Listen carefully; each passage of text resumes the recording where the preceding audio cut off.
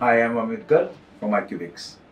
We all know how difficult it is to make a house or any other building in which we have different walls made up of masonry blocks or brickwork. How much time and labor does it consume and how many quality issues it may have.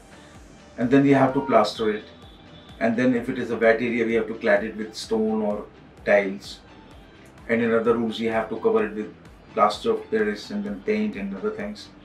In any project, at any point of time, especially in times, in COVID times and post-COVID times, it makes much more sense to have some kind of modular partition system in which we can have a prefabricated modular system which can be installed on site much much faster with minimum human labor, negligible human labor. Something which is very flexible, something which is very modifiable at site, something which is relocatable and something which is not more expensive than traditional systems. IQUBX is designed and launched a very flexible, very innovative drywall partition cladding system which can be used for cladding on walls as well as for creating partitions. This is primarily composed of, in case of partition, there is a structural framework which is made up of this 50 into 50 mm vertical posts and these are designed, it's a highly engineered with very high bending strength aluminum section which has got a multi-functionality and usable in many configurations and which has got locking system in which you can see that there are brackets which have been fixed with the help of Allen key bolts and nuts. With the help of this system a very strong framework is possible. Along with this then there is a cladding system which can be mounted either on this framework or which can be mounted on an existing wall substrate itself. So this cladding system based on this framework can be used for cladding as well as to form a partition.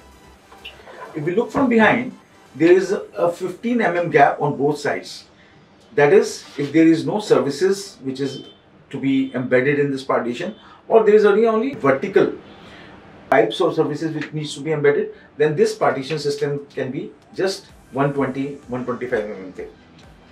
In case we need services which are traveling horizontally as well, there is another extension of it in which we have a 35 mm gap inside in between the cladding and the framework. Now in this partition system, we've got the cladding which is fixed at the base in a skirting module which as you can see from the section here, this is embedded in the floor, if this we consider as a floor, and in which an 18 mm either stone or tile which is pasted on a bison board or any other substrate or even HPL can be used as a skin or a cladding. it is locked into the skirting channel below and above. It is locked with the help of a lock channel. Now imagine this is the ceiling and this is the top channel and this is locked from the top. It can be easily opened. The, each and every panel can easily be opened. So in this way, the top lock channel can be easily removed and the stone or whatever is the material as a skin can easily be removed. Now in real life situation, there will be several panels which will be vertical and because this is going to be 8 feet high or something like that or maybe 10 feet high so there will be several vertical panels which can be individually removed. And so the services which are embedded up inside the partition or paneling can easily be accessed.